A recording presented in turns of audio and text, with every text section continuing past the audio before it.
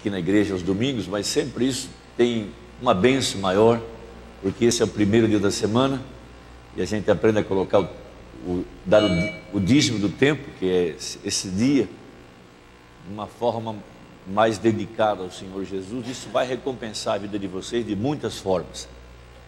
Existe um segredo dentro da Bíblia que é oferecer a Deus sempre as primícias, as primícias e as primeiras coisas que você recebe. Então, começa a semana com oferecendo o primeiro dia. E tem pessoas que a primeira renda do ano eles oferecem ao Senhor também. Tem pessoas que ofertam o primeiro dia do mês ao Senhor, são primícias. Tem pessoas que usam a, a, a roupa pela primeira vez na igreja, sapato pela primeira vez, tudo, tudo para dar ao Senhor essas primícias. Então, esse primeiro dia da semana, nós aprendemos que Mombrana nem mesmo ele, ele abastecia o seu carro, ele abastecia no sábado, não pescava. Ele, ele, quando era muito, no tempo que ele era muito pobre, ele tinha que trabalhar, ele trabalhou por 17 anos, enquanto ele, ele era ministro, porque ele não queria ser pesado para a igreja, ele não queria que a igreja tivesse que tirar ofertas para ajudá-lo, essas coisas assim, nunca, nunca, ele nunca quis ser pesado. Ele trabalhou 17 anos sendo um pastor e ainda trabalhando. E nessa fase de sua vida ele precisava pescar para poder pegar alguns peixes e vender para ajudar na economia doméstica. Então ele, quando chegava no sábado, ele ia lá no rio e dizia, ele tirava as, as, os anzóis da água porque ele dizia assim: o que Deus não me deu em seis dias, eu não quero no sábado. Era uma maneira que ele tinha, dessa forma Deus o abençoou, que no final de sua vida, ele, ele no começo ele tirava, ele recebia os seus dízimos e vivia com 90%. Depois ele dava 90% e vivia com 10%. Então, de tanta, tão, tão abençoado que ele foi. É um segredo da vida financeira. Vocês que querem ter um futuro assegurado por Deus, são dois mandamentos na Bíblia que têm promessas. O primeiro deles é honra teu pai e tua mãe, para que vivas muitos anos e tudo que vá bem. Todo filho que honra o pai e a mãe carrega para dentro do casamento uma bênção especial. Segundo é dar os dízimos e as ofertas ao Senhor, para que Deus então supra cada necessidade. Então vocês estão bem cedo já, já, já têm aprendido nas escolas dominicais que vocês participaram, nos cultos, e graças a Deus já entenderam que domingo é um dia para a gente dedicar ao Senhor. Nesse dia a gente não pesca, a gente não joga bola, a gente não, não faz nada que não seja algo para adorar o Senhor. Então isso faz parte do treinamento, do ensinamento que vocês estão recebendo. Muito bem. Quer sentar? Faz favor. Cabe mais um naquela fila de banco lá atrás, não, né? Vocês estão em seis ali. E aqui tem banco vazio na frente. Vamos dividir a turma aí. Eu sei que vocês gostam de estar mais juntinhos. Senta mais aqui na frente, ó. As, as moças ali, está todo mundo espremidinha. Senta mais, senta aqui na frente, vamos dividir isso aí. Então fica banco vazio e fica lá seis sentados num banquinho lá. Muito bem. Agora eu quero que vocês saibam que eu fiquei muito impressionado com o que vocês colocaram no papel. Foi fantástico. Fantástico, extraordinário. Sem, sem sem exceção. Dava para eu trazer e ler tudo aqui, vocês iam ficar impressionados com o que foi colocado no papel. Eu quero dizer que estou satisfeito, muito obrigado. Vocês têm ouvido o conselho dos seus pais, têm ouvido das professoras, do pastor, porque vocês colocaram no papel, traduziram em palavras o que vocês realmente têm aprendido sobre o casamento. Isso tudo dá ânimo na gente em trabalhar. Quem não fez, Não sei quem foi, porque ninguém botou o nome, não posso saber. Fiquei satisfeito. Não, teve só um ou dois que eu desconfio de quem é, por causa da forma como escreveu. A forma como escreveu, porque a gente conhece as palavras, né? Mas impressionante, impressionante, fiquei impressionado com o que vocês colocaram lá. Agora nós vamos dar mais um passo. Eu vou explicar por que, que eu estou fazendo isso, não quero que vocês pensem que eu estou dando coisinhas bobas para vocês fazer. Nós vamos falar sobre planejamento.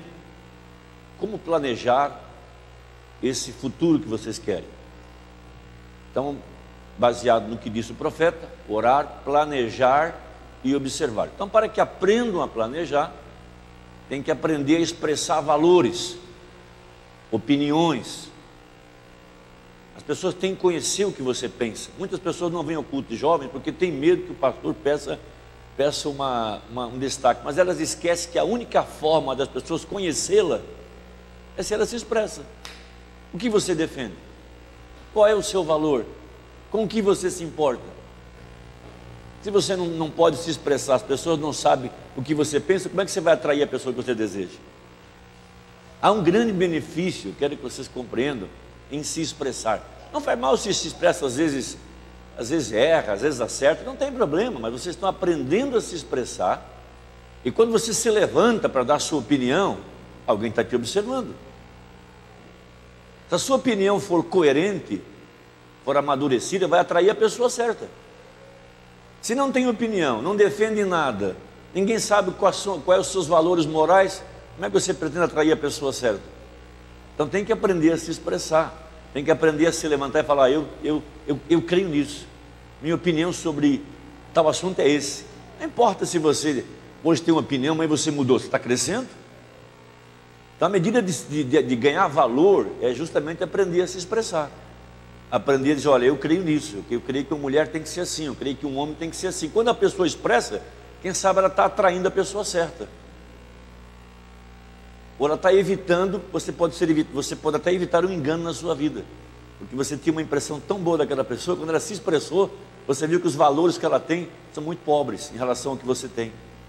Então expressar essa, essa. Vocês estão amadurecendo, eu sei que nós estamos com diferentes idades aqui dentro.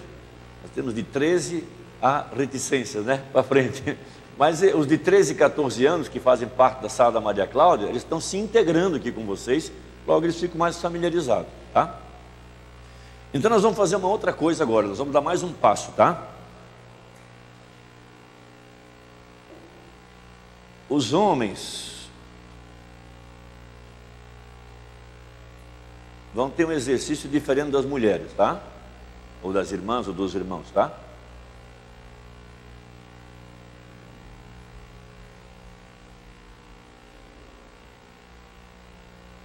Eu quero que os homens. Oi? Bom, vamos repetir um pouquinho então, né? Bom, nós, nós agradecemos a presença, mesmo com chuva, a gente sabe que é difícil. Eu estava dizendo aos, aos irmãos que nós, eu fiquei muito impressionado com a qualidade das, das, do que foi escrito na, na semana passada. Eu vi que realmente não havia ajuda de pai e de mãe ali. Realmente era a opinião que vocês têm. Isso é muito importante.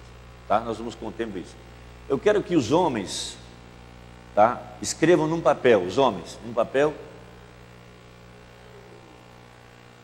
Qual é a sua opinião de como tem que ser um esposo, um marido, não, não pai, porque vocês ainda não são nem casados para pensar em filho. Eu quero que pense assim: qual é a sua opinião? Escreva num papel, não precisa botar nome. O que que você, como é que você entende o seu papel de homem no casamento? E as irmãs, como é que vocês entendem o papel de vocês no casamento? Me faça um favor, tá? Não fala sobre, ah, eu quero que meu filho seja assim, minha filha. Vocês não são nem casados. Vamos pensar assim: qual é o seu papel como mulher dentro do casamento? O que, que você pensa?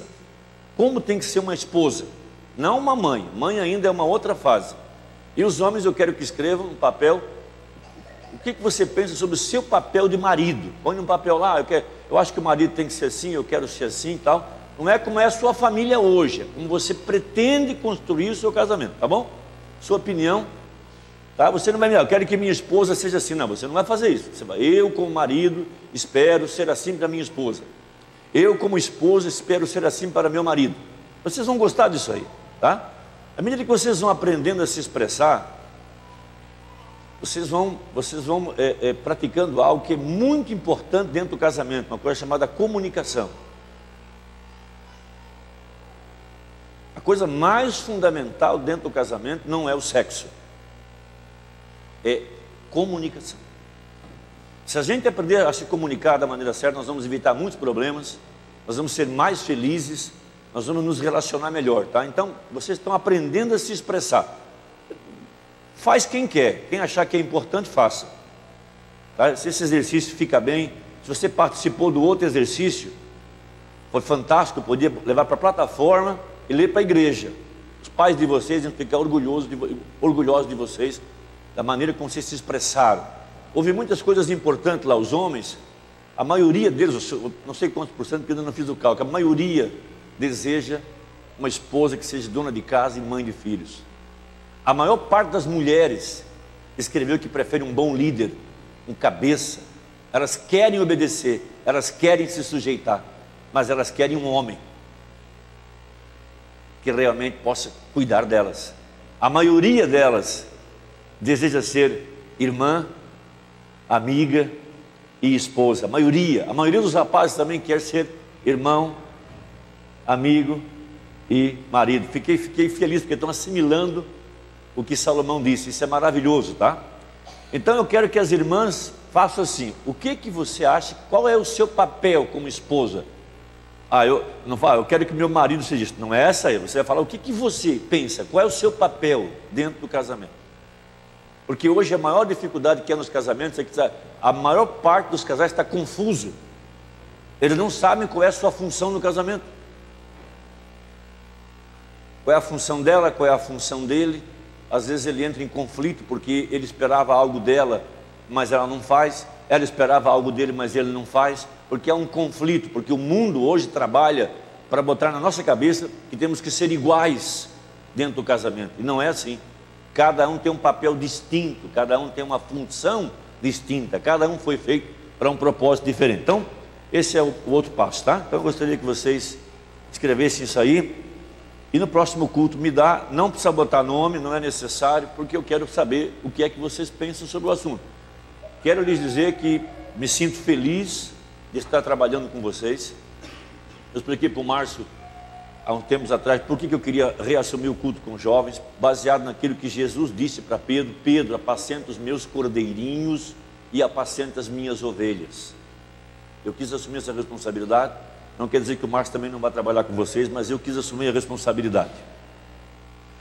Bom, nós vamos rever alguns conceitos hoje, muito importantes, só para vocês Nós vimos em reuniões passadas um pouquinho a respeito, a respeito do casamento sendo um projeto de Deus, tá? Vocês não precisam ter nenhuma vergonha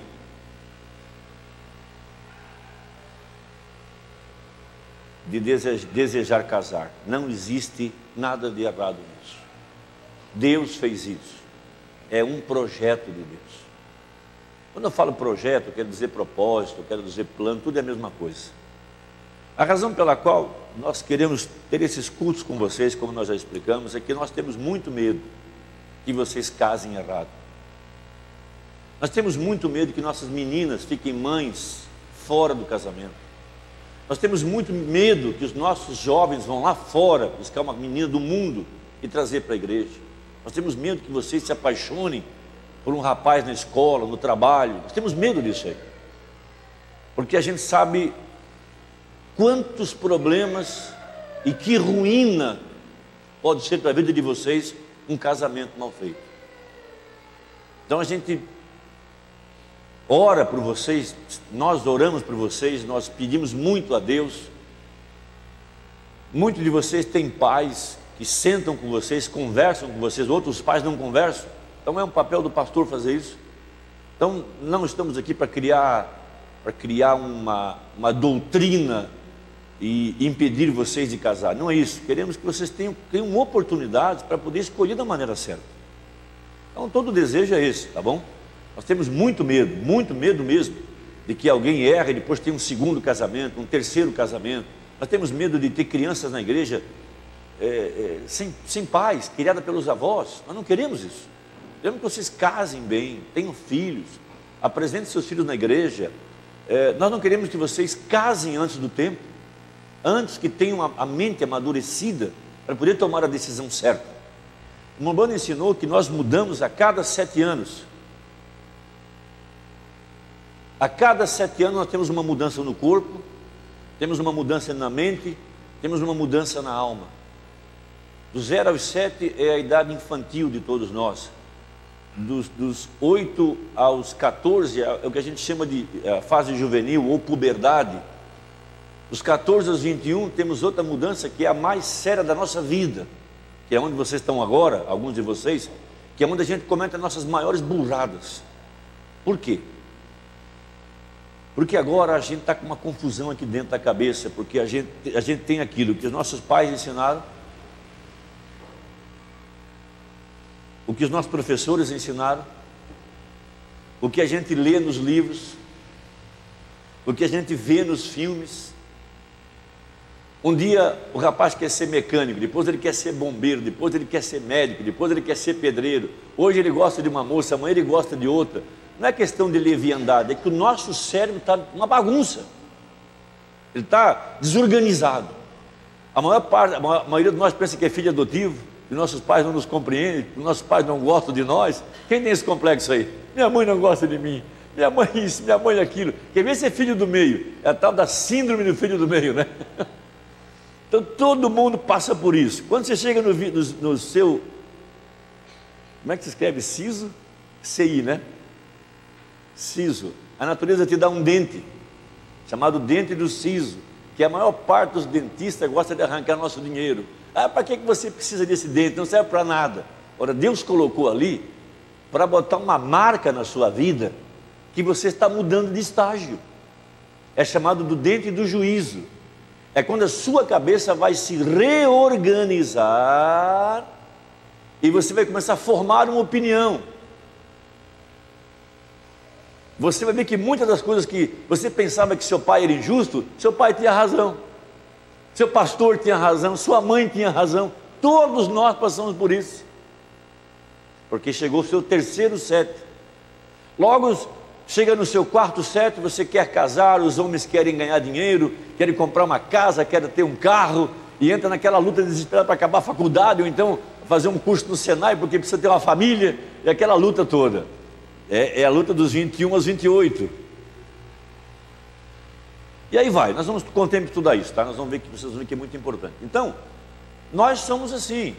Muda o nosso corpo, o rapaz cria pelo, muda esse ossinho aqui do pescoço, ele fica um pouquinho fanho por, alguns, por algum tempo, e daqui a pouco ele começa a falar igual homem. As mulheres, mesma coisa, vai começar a mudar o corpo dela, começa a entrar no seu ciclo, aquela coisa toda, porque está havendo mudanças dentro de nós, o útero começa a tomar lugar, começa a amadurecer, todo o seu aparelho reprodutor começa a entrar em organização e vai. Uma série de coisinhas que a gente não pode falar agora, tá? Então, é normal que a gente deseje que vocês amadureçam um pouquinho mais para não cometer as falhas que nós cometemos. Nós não tínhamos pastor, não tínhamos igreja, não tínhamos profeta, e muitos de nós fizemos muitas coisas erradas que, se, se soubéssemos o certo, não teríamos feito. Então, nós vimos muita coisa importante aqui dentro, tá? Sobre, sobre a questão do, do projeto de Deus, sobre essa questão de nós termos a entendermos isso. Então, a forma como se entra no casamento é através, aliás, como se entra para essa vida conjugal através do casamento. Nós vimos que o absoluto é o amor, tudo isso a gente conversou, então você faz um voto de fidelidade. Nós vimos que a esposa foi feita para acabar com a solidão do homem, todas essas coisas a gente vai ver no futuro mais uma vez, tá? Então, vamos, vamos dar um passo muito importante hoje. É aqui que eu quero trabalhar agora. Vamos ler a Bíblia em Gênesis então um pouquinho. Vamos nos pôr de pé.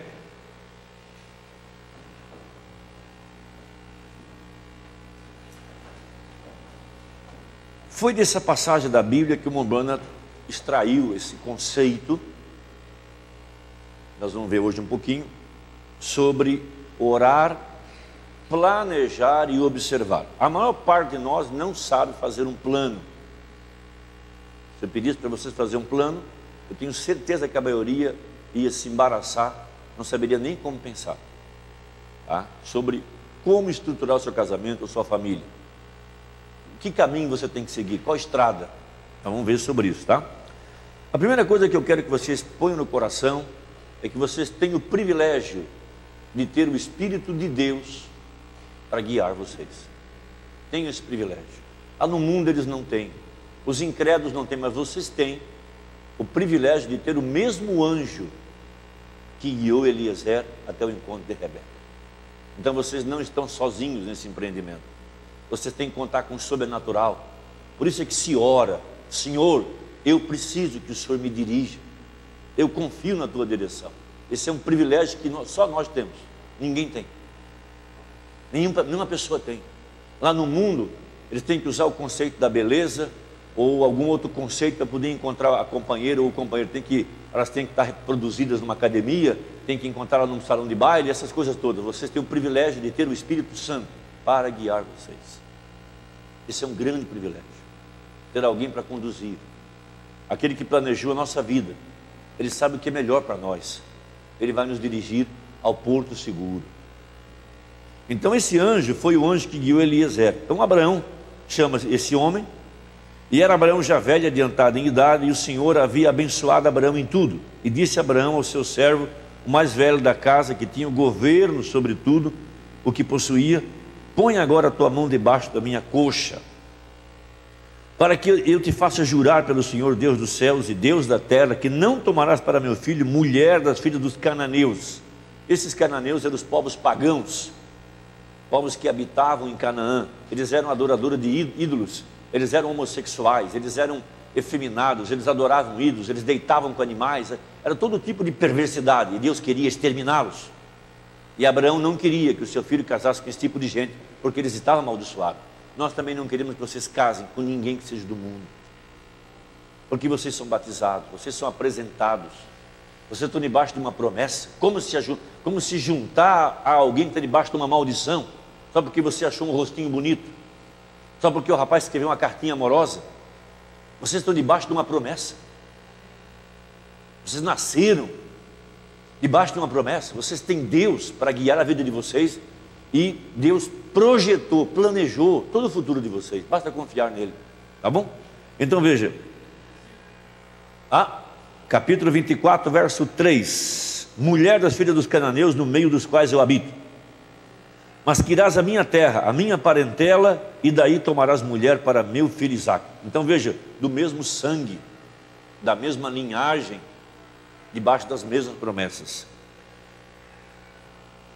E disse-lhe o servo: Porventura não quererás seguir minha mulher a esta terra, farei, pois, tornar o teu filho a terra de onde saístes? E Abraão lhe disse: Guarda-te, que não faças lá tornar o meu filho. O Senhor Deus dos céus que me tomou da casa de meu pai, da terra de minha parentela, e que me falou e que me jurou, dizendo: A tua semente darei esta terra, ele enviará o seu anjo. Esse é o mesmo que apareceu para Maria, é o anjo do Senhor, o Espírito Santo. Vocês podem confiar nele. Vocês devem orar, Senhor, guia-me, ele vai te guiar. Não confie em outras opiniões, confie na direção de Deus. Ponha a sua vida na mão desse líder que é o Espírito Santo. Ele não vai errar, porque ele conhece, ele sabe de onde você foi tirada, ele sabe é, é, é, aonde está essa mulher que Deus planejou para a sua vida. Olha a grande bênção que foi a irmã Meda, não, a irmã Hope, a primeira esposa de Mombrana. Quando o pai dela e a mãe dela casaram, Deus guiou esse casamento. Quando ela entrou no seu corpo teofânico, que é o seu corpo celestial, quando ela morreu, ela estava na mesma imagem daquela mulher que Mambrana casou com ela. Ou seja, o corpo, o casamento natural é mais misterioso do que o nosso corpo teofânico foi criado pela palavra. Há uma promessa, é um projeto de Deus, é uma segurança por trás disso. Então, para que se meter em problemas? Para que ter um casamento arruinado? Para que uh, deitar numa cama e olhar para aquela pessoa que você detesta ela? Você não consegue conviver com ela. Vai ter agora ter que viver a vida inteira com aquela pessoa que te traz problemas. Para que isso? Mas que tal acordar com a pessoa que você ama, que você valoriza, que você sabe que foi Deus que te juntou ali. Compreende? O Senhor Deus dos céus, que me tomou da casa de meu pai, da terra da minha parentela, e que me falou e que me jurou, dizendo: A tua semente darei esta terra, ele enviará o seu anjo adiante da tua face, para que tomes mulher de lá para meu filho. E se a mulher, porém, não quiser seguir-te, serás livre desse meu juramento, somente não faças lá tornar o meu filho. Então pôs o servo a sua mão debaixo da coxa de Abraão, seu senhor, e jurou-lhe sobre este negócio. Este homem era um gentil, ele era de Damasco, da Síria. Esse homem representa William Branco. Um servo, gentil, que saiu à procura de uma esposa para Isaac, Jesus Cristo. É a mesma coisa. O anjo é aquele pilar de fogo lá, aquele é o anjo do Senhor, aquele é Jesus Cristo. Tem dois anjos ali, o de cima é Jesus Cristo, o mesmo que guiou Eliezer na Bíblia, e o de baixo é um gentil, um servo. Por isso ele pregou a mensagem escolhendo uma noiva. Ele está fazendo o mesmo que esse Eliezer estava fazendo, a mesma coisa. E o servo tomou dez camelos dos camelos do seu senhor e partiu, pois que toda a fazenda de seu senhor estava em sua mão. E levantou-se e partiu para a Mesopotâmia, para a cidade de Naor. E fez ajoelhar os camelos fora da cidade, junto a um poço de água, pela tarde. Então capta isso, são símbolos. A água representa a palavra, o tempo da tarde era o tempo da luz do entardecer. Por isso que haveria luz no tempo da tarde. Por isso foi na tarde quando o anjo encontrou essa menina. Veja, pela tarde é o tempo em que as moças saíam a tirar água, como aquela mulher do poço encontrou Jesus num poço buscando água. Mesma coisa. Nós viemos aqui para buscar água da palavra. Mesma coisa. Compreende? E disse: Ó oh, Senhor Deus de meu Senhor Abraão. Então ele está orando já. Começou então o projeto. Dá-me hoje bom encontro e faze beneficência ao meu servo Abraão. Veja, ele precisava da ajuda de Deus. Ele está pedindo a direção do anjo, ele queria que o anjo guiasse, ele começou a orar. A mesma coisa que vocês estão fazendo, Senhor, não me deixe me iludir pela aparência, Senhor, guia-me a, a, essa pessoa que tu tens predestinado para mim. Você está fazendo a mesma coisa. Correto isso? Eis que estou em pé junto à fonte de água, e as filhas dos varões dessa cidade saem para tirar água. Seja, pois, que a donzela a quem eu disser, abaixa agora o teu cântaro para que eu beba, e ela disser, bebe, e também darei de beber aos seus camelos, esta seja quem designasse o teu servo Isaac. Ele fez um projeto. Ele planejou. Havia muitas atitudes e virtudes por trás disso tudo. Ali estava ele, não conhecia as meninas, não conhecia ninguém, e ele pediu água. Ela poderia ter tido medo, fugir, rejeitar, não fazer, todas essas coisas. Estava envolvido muitas atitudes, uma caráter, ele queria ver muitas coisas. Queria ver se ela podia baixar como uma serva, tirar água para os caminhos sem que ninguém mandasse. Tem muita pessoa que só faz o que é mandado. Jesus disse: é inútil. Tem que fazer alguma coisa a mais para impressionar, sem que ninguém te mande. Aquele algo a mais. Sim, o que fez a menina com a barriga molhada, fazendo algo a mais lá atrás enquanto as demais estavam pintadas na porta da igreja, ela estava lá atrás no tanque. Algo a mais, algo diferente, algo de caráter. Veja um plano, sim? Seja quem designasse o teu servo Isaque, eu conheça nisso que fizesse beneficência a meu Senhor. E sucedeu que antes que ela acabasse de falar, disse que Rebeca, que havia nascido a Beltuel, filho de Milca, mulher de Naor, irmão de Abraão, saía com seu cântaro sobre o seu ombro. Então veja, ela tinha que ser, ela tinha que ser da parentela, ela tinha que ser virgem, e ele, ela tinha que vir ali para buscar água. O anjo já estava guiando ela. Quando guiou ele, estava guiando ela. Isso é que é o segredo, ser guiado. E a gente às vezes fica é, procurando qual é o signo, qual é o horóscopo, para ver se combina. Pelo amor de Deus, tem coisa muito mais útil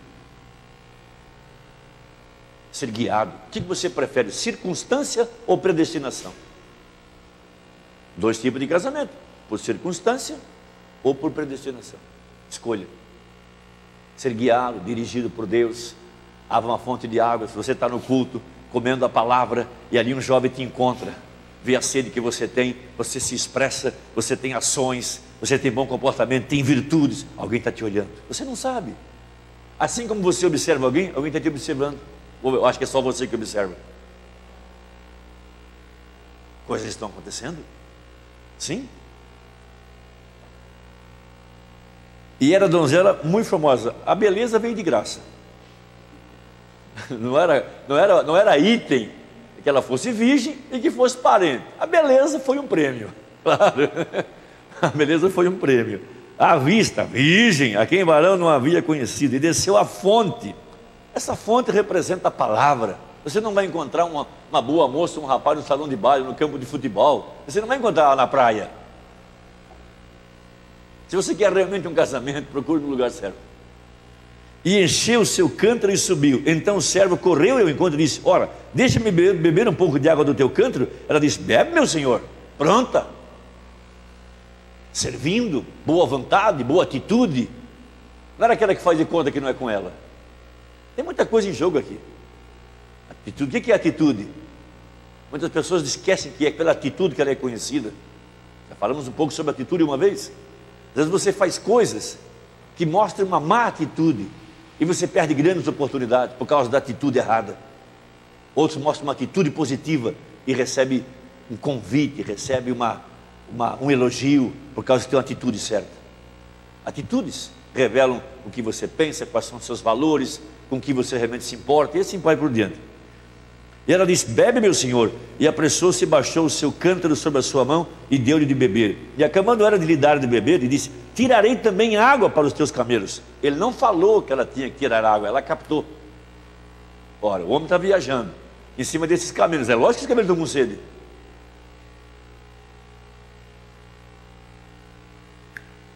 Uma parte estava revelada e uma parte não revelada.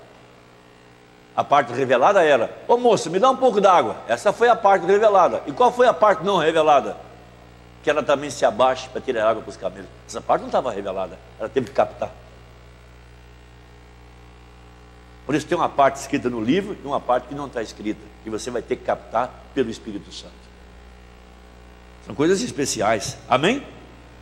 E, apressou-se e vazou o seu cântaro na pia e correu outra vez ao poço para tirar água e tirou para todos os seus camelos. Pensa, ela não conhecia o rapaz, não sabia quem era ela, monte de camelo para dar água, mas ela não se cansou, ela ó, foi lá e começou a botar água na pia e começou a dar para os camelos, para os homens que estavam com ele, e ela estava sendo observada e não sabia. Olha a atitude, gente. Nós vamos falar um pouco sobre atitude no futuro. Assentados. Muito bem. Então, são três coisinhas que Mombana fala baseado nessa, nessa escritura.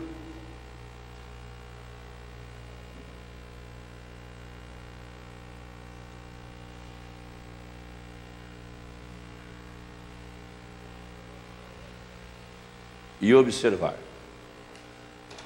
São três coisas muito, muito, muito importantes. Esses são os três elementos que o profeta extraiu dessa passagem quando ele estava instruindo a sua igreja sobre esse importante assunto que é o casamento. Orar, planejar e observar. Eu penso que nossa maior dificuldade não está na oração está justamente aqui. Ó. O que, que eu tenho que planejar? O que, que eu tenho que pensar? O que, que eu tenho que, que observar? O que, que eu vou ver? Então, assim, eu quero que vocês escrevam uma coisa no seu caderno que é muito importante, especialmente para as moças, né? não é que é só para elas, mas especialmente para elas, que vão, que vão colocar suas vidas na mão de um rapaz para o resto das suas vidas. Como esposa, você sabe que você deve ser sujeitas a seus maridos como líder da casa. Então, como é que você vai colocar toda a sua vida? Você vai se entregar a um rapaz, vai se sujeitar a esse moço, se você não conhece os valores que ele tem, os padrões, o caráter dele. Só porque você achou ele bonitinho. Ah, ele é tão bonitinho, é tão lindinho. O cara é imoral. O cara é indecente, indecoroso, não gosta de trabalhar. Uma série de coisas, tá? Tem uma coisinha muito importante. Você tem que conhecer a intenção.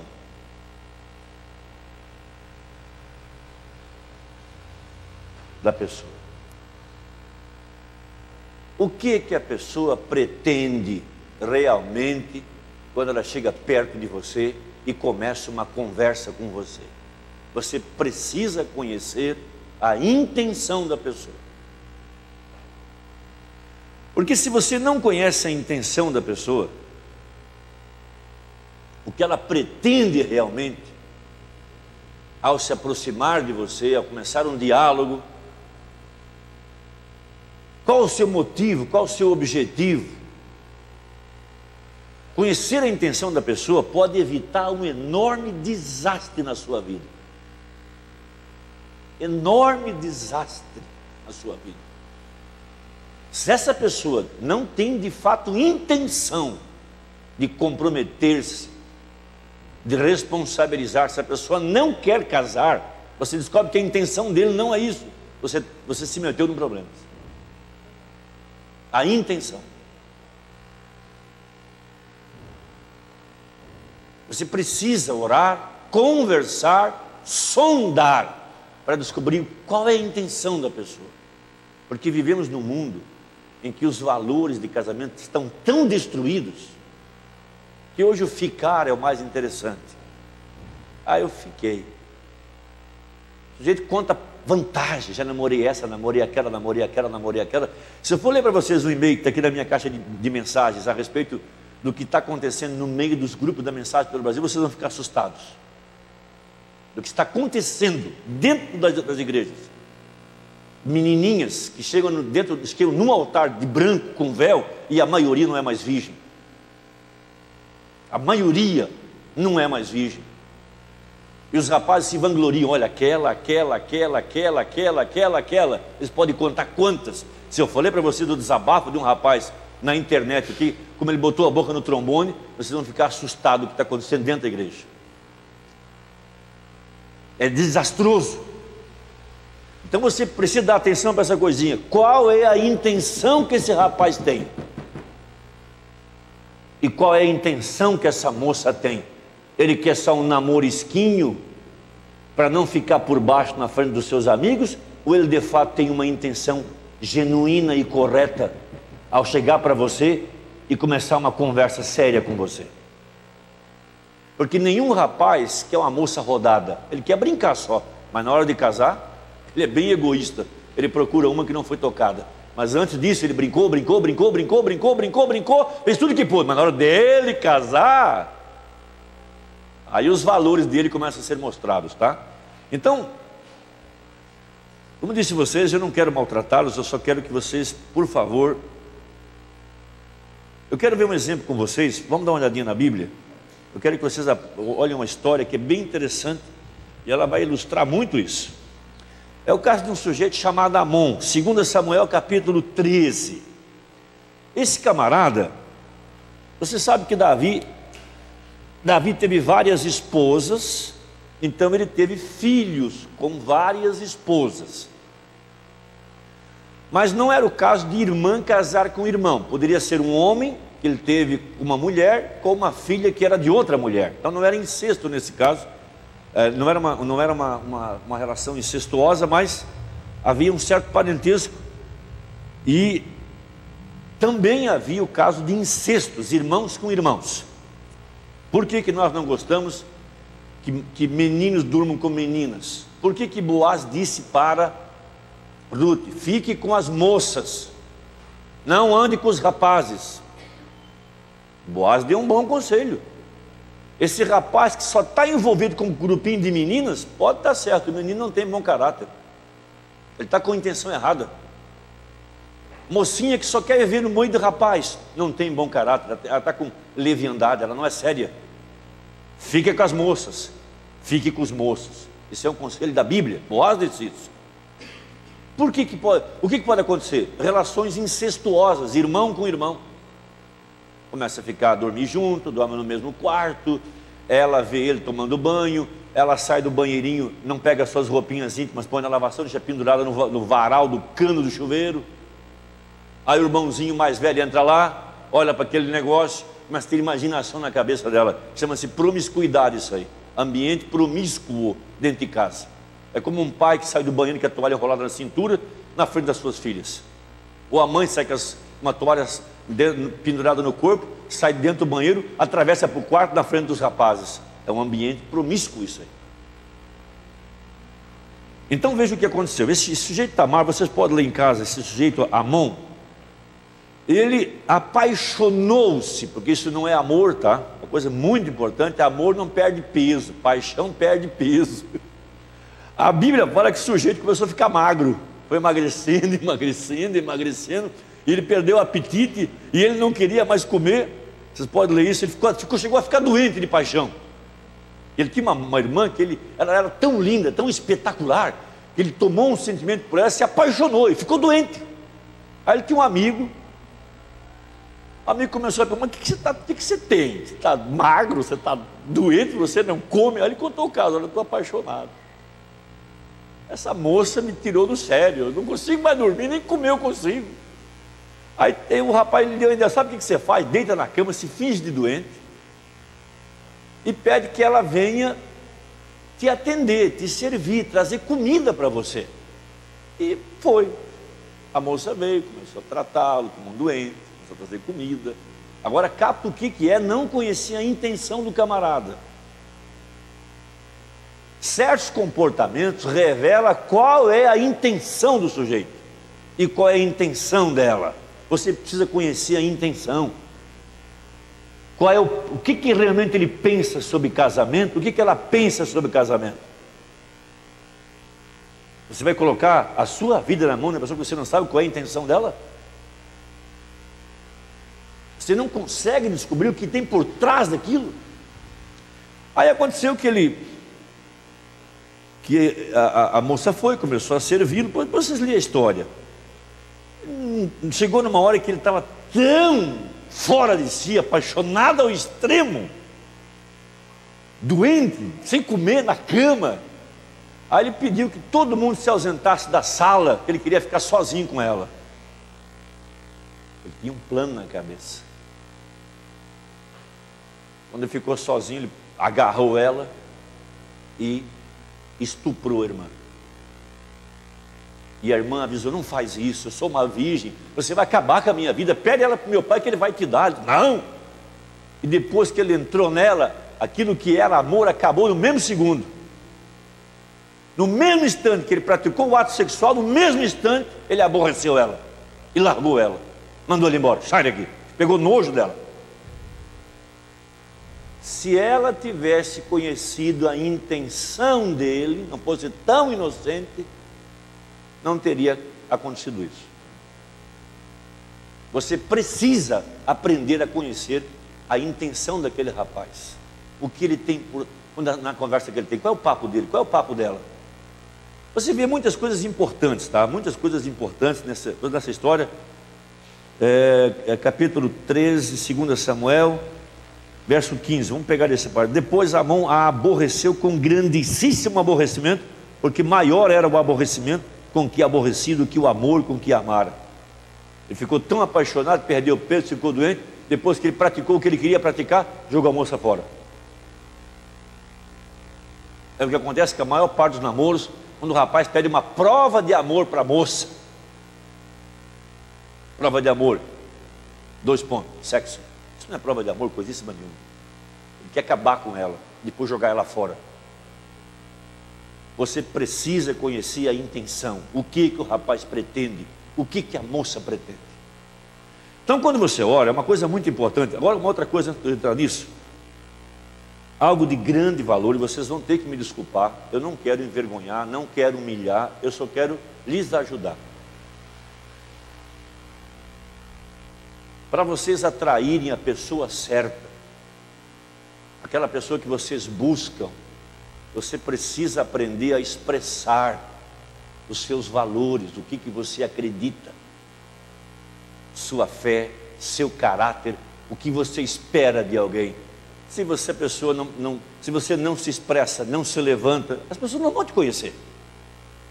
Vai atrair a pessoa errada. É muito importante aprender a expressar sua opinião. Expresse ela. Num papel, numa conversa, deixe claro o que você pensa.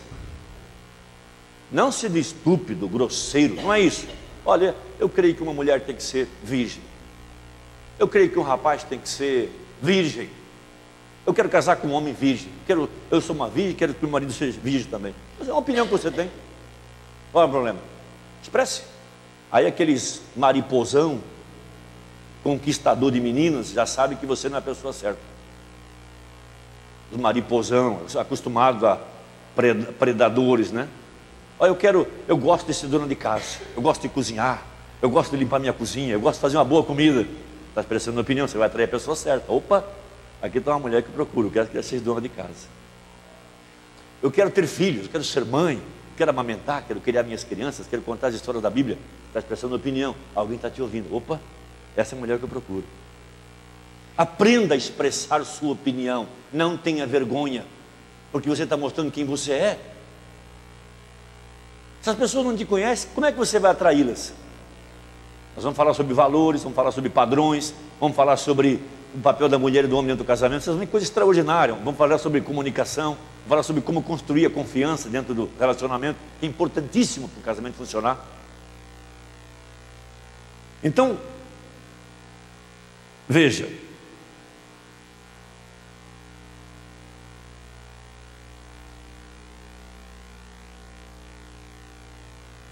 Quando você expressa suas opiniões, não, eu não, não me entenda mal. Expressar sua opinião não é maltratar as pessoas, não é ser estúpido. É mostrar suas convicções, o que, que você pensa sobre o assunto. Qual é, o seu, qual é a sua ideia sobre isso? Expressa. Não, lógico. Ah, mas as pessoas vão rir de mim. Deixa que rir. Mas quando você expressou seus pontos de vista, sua seriedade, você vai atrair a pessoa certa. Porque num relacionamento, tudo que a gente procura é construir confiança. Está construindo confiança naquela pessoa que você está tá desejando chegar próximo dela. Como é que você constrói confiança? Se você não fala, não abre a boca, a pessoa nunca, nunca sabe o que você pensa. Vai construir confiança. Para construir confiança, precisa aprender a expressar seus valores, seus princípios, mostrar o seu caráter, mostrar com o que, que você se importa. Aprenda isso, tá? Então, quando a gente estiver orando, escreve lá, é muito importante, tá? Há algo de grande valor nesse processo, é aprender a expressar os seus valores. Muito bem. Você vai orar agora. Muito bem, eu quero orar, né? Preciso orar. O que, que eu tenho que pedir na oração? Alguém já pensou sobre isso? O que, que eu peço? Vou dar algumas ideias. Deus depois vai te ajudar, porque nós, nós contamos com o Espírito de Deus para nos para interceder por nós, porque às vezes você não sabe nem pedir o que deve pedir, né? Algumas coisas importantes, tá? Que eu acho que você deve orar. Primeira coisa é essa: seja feita a tua vontade. Você tem que estar disposto a se curvar para aquilo que Deus quer para a sua vida. Se você não está disposto a aceitar a vontade de Deus, então nem conte com Ele para te dirigir. Você quer fazer as coisas do seu jeito? Deixa ele lá, não incomoda ele. Ele tem muita coisa para fazer. Diga, Senhor, seja feita a tua vontade na minha vida, aquilo que o Senhor tem predestinado para mim. Outra coisa que eu acho muito importante, depois nós vamos falar um pouquinho sobre o conceito da palmeira e o conceito do cedro. Duas coisas importantes, tá? Você não pode querer sem primeiro ser. Você precisa entender isso. Antes que você faça alguma exigência, antes que você deseje algum tipo de, de característica ou de virtude, você primeiro tem que ser. E às vezes a gente quer, ah, eu quero que meu esposo seja isso, quero que meu esposo seja aquilo, mas qual é a qualidade que você tem? Você tem que primeiro preocupar-se em ser, agregar valor a sua vida. Para atrair a pessoa certa, você tem que ter o valor, algum tipo de valor. Então, uma coisa que eu acho muito importante é buscar a convicção, a certeza de que você está batizado com o Espírito Santo, que você tem o Espírito Santo. Porque se não tem o Espírito Santo, lhe falta um guia, lhe falta realmente alguém que vai lhe dirigir quando você tiver dúvida nas esquinas da vida, nos cruzamentos que você vai ter. Você precisa do Espírito Santo. Uma coisa muito importante,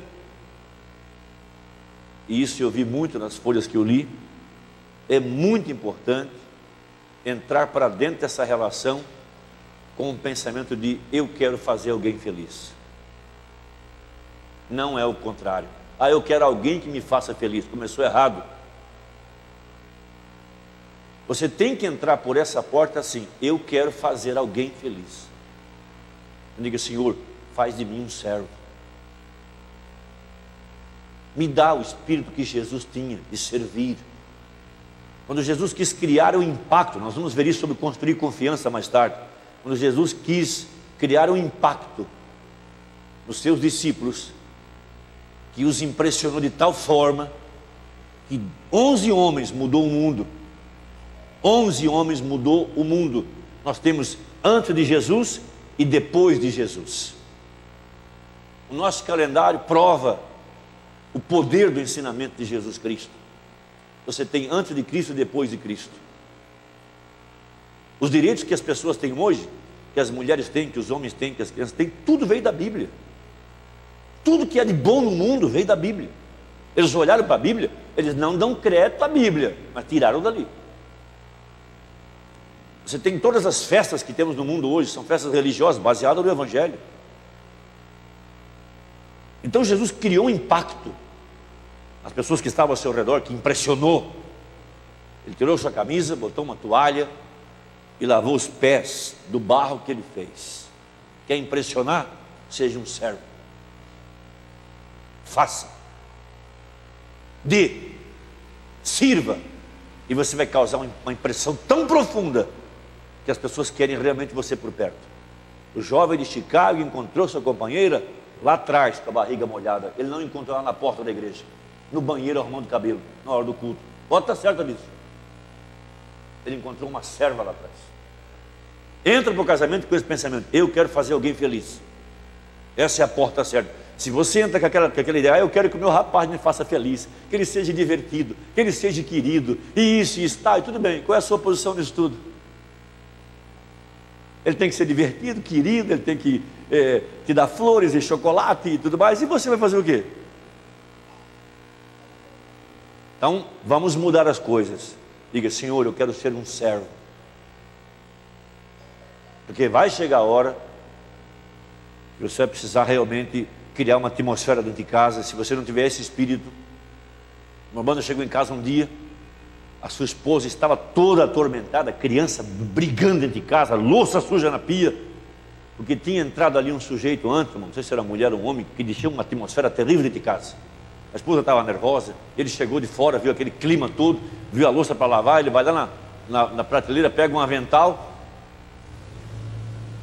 e vai lavar a louça na pia. Ele começou a trabalhar, logo ele mudou o clima de dentro de casa. Servo. Profeta dessa era, o homem mais importante de todas as eras, maior que Moisés, maior que Paulo, impressionou, criou um impacto.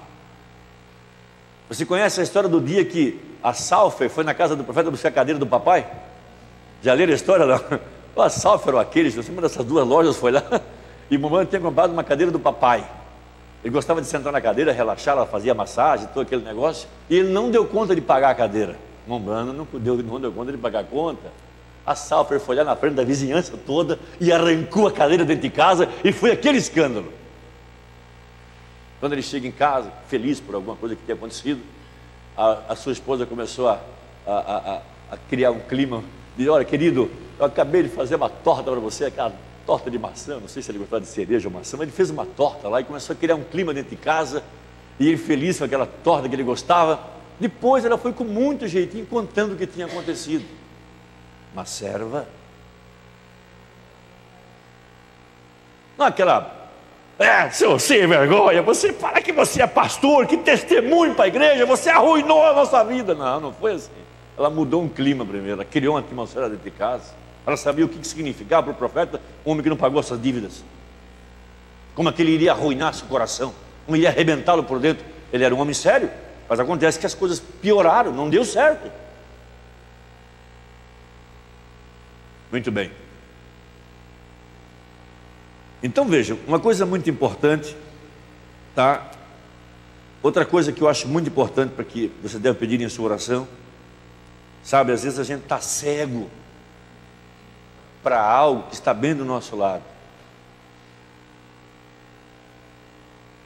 Vezes a pessoa que você procura não está na internet, está bem do seu lado. Você ainda não tem seus olhos abertos para ela. Diga, Senhor, Abre meus olhos.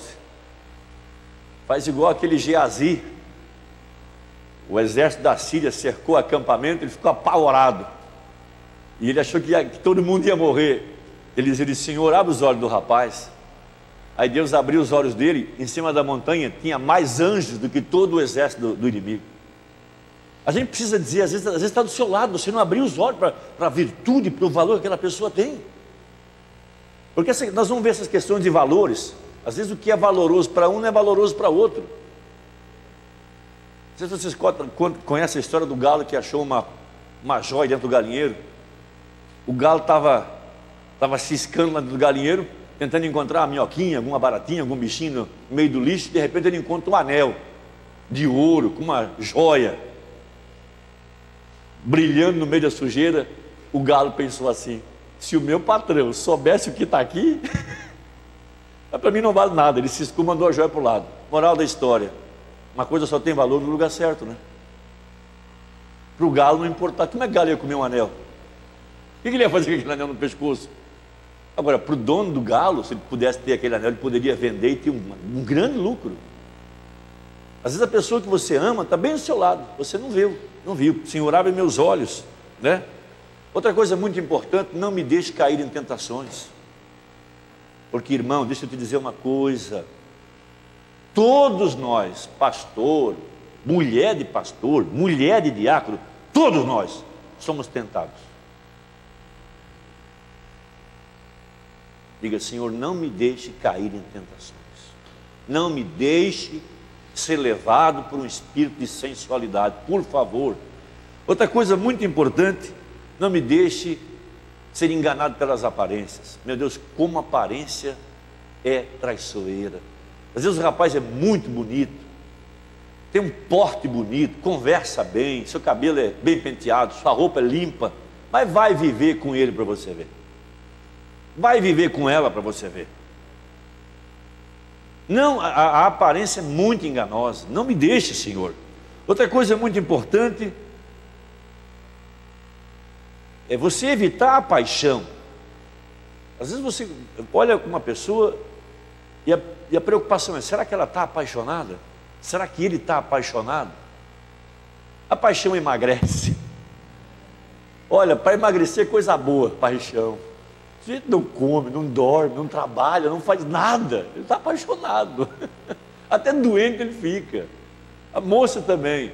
Paixão é uma coisa carnal. Depois que ele praticou o ato consensual, ele enojou dela. Porta errada. Não é a porta de entrada essa. A porta de entrada é o amor. Vimos sobre isso, absoluto é o amor. Quando o rapaz realmente pensa na moça, pensa no casamento, qual é a intenção que esse sujeito tem? Nós precisamos conhecer a intenção. Trabalhe em cima disso aqui. Quando você vê que o rapaz não quer compromisso, o rapaz não quer responsabilidade, ele não quer falar com o teu pai, ó, sai pela porta de trás. Fala, Deus abençoe, irmão.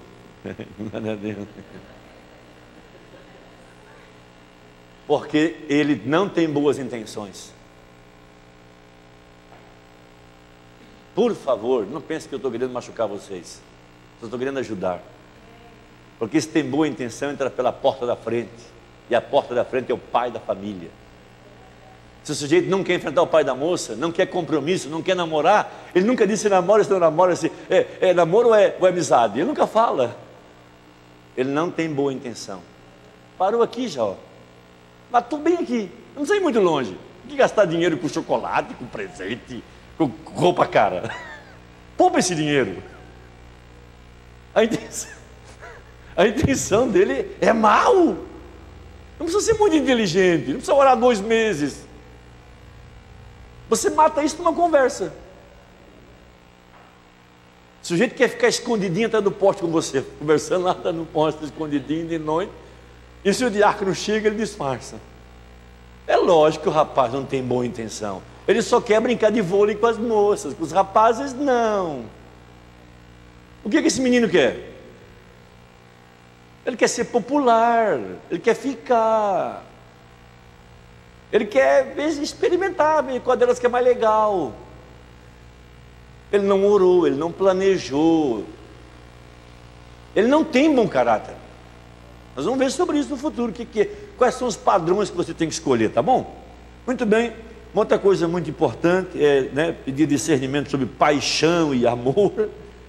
Você já sabe que paixão perde peso, paixão fica doente, aquele negócio todo. paixão, a pessoa fica triste, apaixonado. Né? E uma coisa muito importante é você buscar o absoluto. O absoluto é o amor. O verdadeiro amor está em 1 Coríntios 13, nós vamos ver isso mais tarde, hoje não é nossa intenção, tá? Muito bem, agora vamos à segunda questão aqui, não sei se meu horário está. Segunda coisa muito importante: por que planejar? Qual é o benefício de fazer um plano? É claro que o homem pode fazer planos, mas a resposta certa vem do lado absoluto. O plano que eu quero falar, que eu quero mostrar para vocês é o, o, plano que eu quero dizer não é, ah, eu quero um rapaz que seja loiro. Não, não é isso que eu estou falando. Você tem que morar em Blumenau, então só tem loiro lá. Aqui tem poucos loiros, com exceção da loirinha do canto lá. Nossa, Emily. Não é esse plano que eu quero. Ah, eu quero uma casa lá na, no Corte Silva. Não é esse o plano que eu estou falando. Eu quero falar sobre valores dentro do casamento. sobre caráter, sobre sentimento, sobre criar confiança, sobre comunicação, coisas que você precisa entender. Então, uma, uma das grandes razões que você precisa planejar, o porquê, é para saber o que procurar na moça ou no moço. Você quer beleza ou você quer caráter? Você quer uma moça que não quer ser mãe? Você quer um rapaz que não gosta de trabalhar? Qual é o seu projeto para esse assunto? Porque se você planeja, você vai saber quando encontrou. Porque eu não posso encontrar o que eu não sei que eu estou procurando. Um grande benefício de planejar é para você saber o que procurar e saber quando encontrou. Olha, encontrei.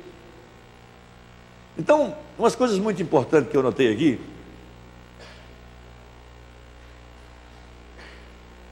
dentro desse, desse, desse, desse porquê planejar, é que você tem que ter um conhecimento de quais são os padrões que Deus pede para o homem e para a mulher. Qual é o padrão de cabelo? Qual é o padrão de roupa? Qual é o padrão de comportamento? Feminina, efeminado, o rapaz não sai debaixo da saia da mãe dele, sabe você não percebe que ele é bem marica? E você gosta dele tanto, mas ele não é homem. Ele é muito efeminado. Tudo é a mãe, tudo é a mãe, tudo é a mãe. E quando ele for casar com você, a mãe vai junto? Você vai querer a sogra junto com você? Deus do livre. Eu já sei, quando é que a senhora vai embora? A senhora vai logo já? Então, padrões, tá? Qual é, o, qual é o comportamento, porte para um homem, para uma mulher? Porque num casamento, precisaria duas pessoas: um homem e uma mulher. Qual é o papel dela e qual é o papel dele? Por isso eu perguntei para você: o que, que você crê que é seu papel? Vamos falar sobre padrões. O que, que você crê que é seu papel como mulher dentro do casamento? Porque tem mulheres que são pai e mãe. Elas são homem e mulher, elas fazem tudo. Então você tem que conhecer, você está procurando um padrão, muito bem. Qual é o papel dela, qual é o papel dele? O que, que Deus disse para ela, o que, que Deus disse para ele? Tem padrões. Você olha uma moça que ela já corta o seu cabelo. Você já olha para um rapaz, ele anda sempre com uma roupinha apertadinha, com a barriguinha dele aparecendo. Que, que, você, que padrão que ele está tendo? Ele tem algum padrão de homem? Ela tem algum padrão de mulher? Qual é o padrão que você procura? Você vê que as roupinhas dela são sempre curtinhas. Você quer uma mulher sensual? Você quer um homem sensual? Você quer um homem trabalhador, honesto, santo, puro? Padrões? Vamos falar sobre isso, tá? Outra coisa é, caráter. Caráter é uma coisa importantíssima. Ninguém nasce com caráter. A vida vai colocando em nós o caráter. Suas experiências, suas lutas. Vocês vão ver que pessoas que têm que trabalhar desde cedo para ganhar o pão de cada dia, têm seu caráter forjado mais cedo. Muitas vezes pessoas que perderam o pai ou a mãe muito cedo são obrigados a assumir responsabilidade. Seu caráter é formado mais cedo. Vocês vão conhecer pessoas que não têm capacidade de assumir uma casa. Falta caráter. Ele não trabalha, ela não trabalha, ele não gosta de trabalhar, ele não aguenta pressão, ele é muito emotivo, qualquer coisa ele chora. Qualquer coisa ele se esconde, eu estou muito ferido hoje. E quer ser pai de uma família, quer ser marido, de que jeito? O caráter dele está muito frágil, é muito sensível, ele é muito papelzinho de arroz, estraga com a chuva. Muita outra coisa muito importante que vocês vão ter que, que olhar é sobre responsabilidades. Eu gostei muito do que os rapazes falaram. Eu quero uma mulher que seja dona de casa, que crie filhos. E quando eu chegar em casa, disseram eles: Eu quero ver ela limpa, perfumada e cheirosa. Vou colocá-la no meu colo e vou dar um beijo nela, porque no dia seguinte eu quero trabalhar de novo. Gostei! Isso é o conceito do Momrana? Olha, então, tem uma turma boa aqui dentro, hein? Não precisa ir muito longe para arrumar namorado. Elas, por sua vez, querem ser mães, elas querem ser dona de casa. Elas querem ter o prazer de ter uma casa. Não, elas querem formar um lar, elas não querem uma casa, porque casa é pedra, é cristaleira, é tapete, isso é casa. Lar é, que bom, cheguei em casa, que bom te encontrar, que coisa maravilhosa. Passei um dia difícil, mas é tão bom chegar em casa, isso é lar. Ser amado, ser querido, ser desejado. Não importa se seja uma tapera, uma carroceria de caminhão, mas é um lar é minha, é minha esposa, é meu filho, é minha casa. Pedra. Não quero isso, quero um lar. Qual é o seu projeto para esse assunto, tá bom? Muito, muito importante isso aí, tá? Qual a responsabilidade? Né? Qual é a visão que a pessoa tem? Se você vê que a mulher só quer andar em shopping center, ela só quer joias caras. O sapato dela, meu filho, custou 280 reais. A roupa dela caríssima. Você vai ter que trabalhar 14 horas por dia você quer uma casa ou quer um lar? Você tem que saber o que você procura. Nós, os cristãos, somos chamados por Deus a não usar roupas caras, não usar sapatos caros, não usar coisas caras, temos, temos uma vida modesta e humilde. É a Bíblia que diz isso. Agora o rapaz chega perto da moça, meu Deus do céu, ela só usa creme, de, creme da Forever. Ela só usa creme para isso, creme para aquilo, é tanto cremarada que eu não sabe nem como é que faz. Pobre do rapaz. É, tá, as roupas são só roupa de marca, o sapato é um sapato para cada roupa, uma bolsa para cada sapato. Como é que ele vai dar conta? O menino nem começou a vida, nem tem, nem tem profissão, mas já está, ó, meu Deus, está endividado já. Ele tem que saber o que, que ele procura, qual é o padrão que ele quer. Faz um plano. Vale mais para você a roupa que ela usa, a joia que ela usa, o sapato que ela usa, ou vale mais amizade, o testemunho que ela tem? Como diz o profeta, ela tinha boca grande, olho grande, mas é uma cristã. O que é mais importante é que é uma cristã. Porque depende do valor que você procura. O que, que você pensa sobre esse assunto? Como é que você vai construir seu lar? Compreende? Então, outra coisa muito importante é sobre sentimentos, vamos trabalhar muito sobre isso. Hoje existe uma, as, nos, nos, livros de administração, de, de, de, de casamento, uma coisa chamada inteligência emocional. Hoje uma pessoa não é mais avaliada só pelo seu, pela sua inteligência com a matemática, com a química, com a física. É sobre sua inteligência emocional, capacidade de agradar, capacidade de motivar, capacidade de encorajar, capacidade de, de recompensar, sentimentos, calor humano. Aquela pessoa vive mal-humorada, meu Deus, quando é que você ri? Mostra um pouquinho o seu dente, como é que é a sua voz? Porque ela nunca ri. Ela nunca, ela nunca sorri, nada está bom, tudo está sempre ruim, está sempre chovendo, está sempre nuviado. Ela não tem inteligência emocional. ela não sabe agradar. Ela não sabe é, valorizar o que você fez. Você chega em casa com chocolate. Ela não sabe recompensar com um sorriso. E muito obrigado, fiquei tão feliz. Tem que aprender a expressar isso. Se a pessoa não se expressa, ela é uma múmia andante. Você gosta de múmia? Vai no museu.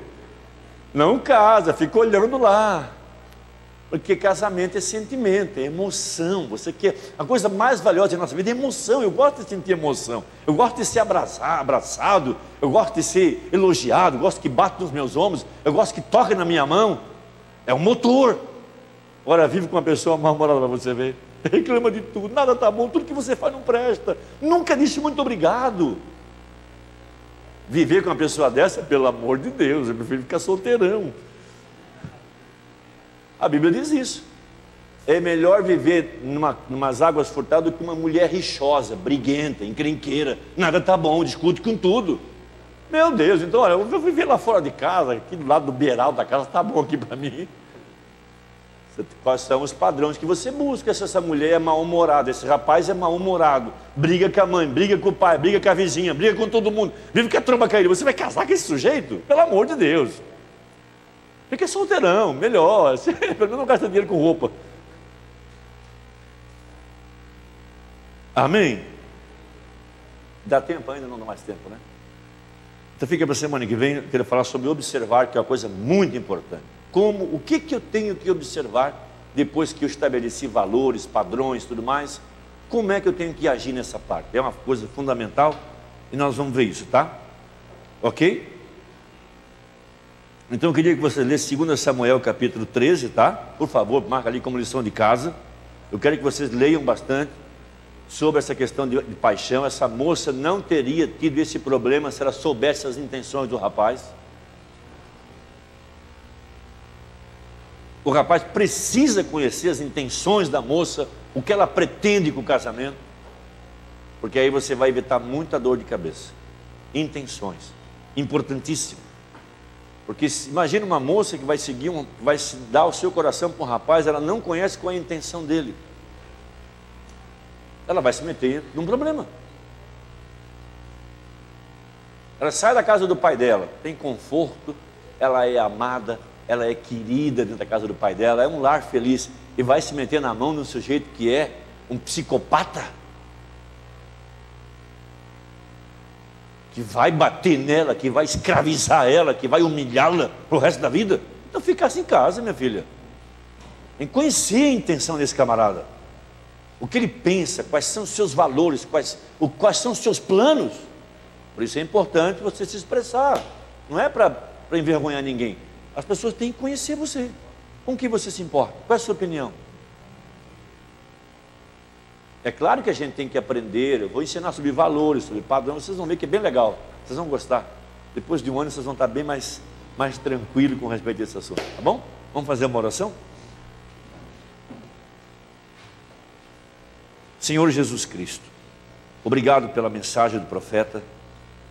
Nós aprendemos esses três elementos para conhecer a intenção do que há em nosso coração e do que, é, do que há no coração da pessoa que nós amamos orar, depender do Espírito Santo, depender da direção desse anjo de Deus, saber que planos, qual o projeto que nós temos para o nosso casamento, que tipo de, como podemos fazer uma escolha acertada, uma escolha da qual nós não vamos nos arrepender. Senhor, que, que o que foi falado não caia no esquecimento, mas que possa cair no coração, como uma boa semente e produzir frutos desejáveis.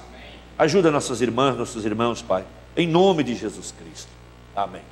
Se vocês quiserem ouvir isso de novo, pega a gravação depois. É, seria bom ouvir de novo, às vezes a gente não anota tudo. Tem a gravação lá, dá para fazer uma cópia. Assiste de novo. Assim, menos vão ver sobre observar. Vocês vão gostar sobre isso, tá? Tá bom? Dá tempo de dar uma